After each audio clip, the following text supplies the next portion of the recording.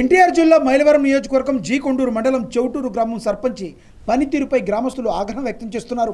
Seasonal వ్యాధులు విజృంభిస్తున్నా కనీసం bleaching చెల్లించి దోమల మందు పిచికారీ చేయించడం లేదంటూ ఆవేదన వ్యక్తం చేశారు.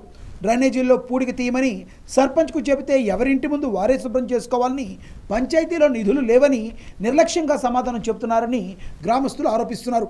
సర్పంచ్పై స్థానిక ఎమ్మెల్యే చర్యలు తీసుకోవాలని అలాగే వ్యాధుల బారిన పడకుండా డ్రైనేజీ సమస్యలను పరిష్కరించాలని గ్రామస్తులు వేడుకుంటున్నారు.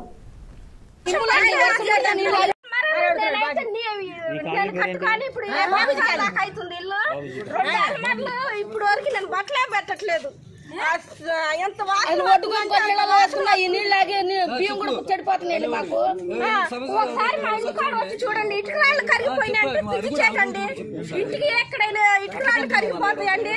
మా ఇంటికి అయితే ఇటుక రాళ్ళే కరిగిపోయినాయి. ఎవరు కోలయ్యా మా ఇంటి ముందు మా ఇంటి ముందు చెప్పండి. మీరే చెప్పండి. మీరు నిమ్మంతా ఇంట్లోకి వస్తుంది మాకు. భారీ కట్టుకున్నారు రోగాలు వస్తున్నాయి అంటే. మరి ఇంకా నీళ్ళు ఏం చేసేది? లేనోళ్ళు మాస్మెంట్ వాళ్ళు పారి ఏం కడతారు? ఆ చెట్లు పెట్టుకొని అప్పులో సప్పులో పెట్టి కట్టుకున్నాం రోగాలు వస్తున్నాయని. ఆ నీళ్ళు కూడా పట్టలేదు. ఇంట్లో బియ్యం పెట్టుకుని బియ్యం పచ్చగా అయిపోయినాయి. మూడు వందలు అంటున్నారు.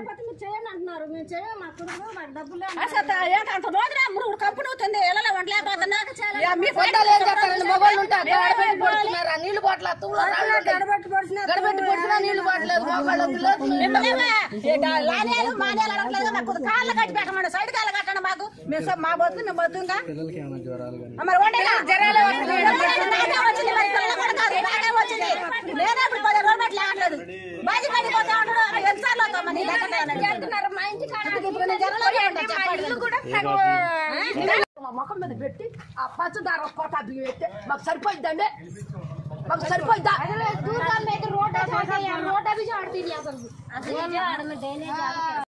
నాకు రక్తం పడుతుంది. రక్తం పడుతుందని నేను చెబుతాను మీరు నమ్ముతారు కాకపోతే ఒకటి ఈ అమ్మాయికి రక్తం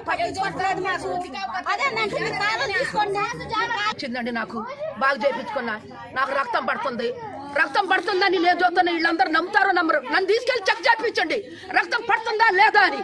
పడుతుంది ఈ అమ్మాయి పడింది అని అంటే కానీ ముఖ్యమంత్రి కానీ నాకు ఇస్తారు నేను ఇస్తారు ఈ ఖాళీ మొత్తం ఇస్తారు ఆ?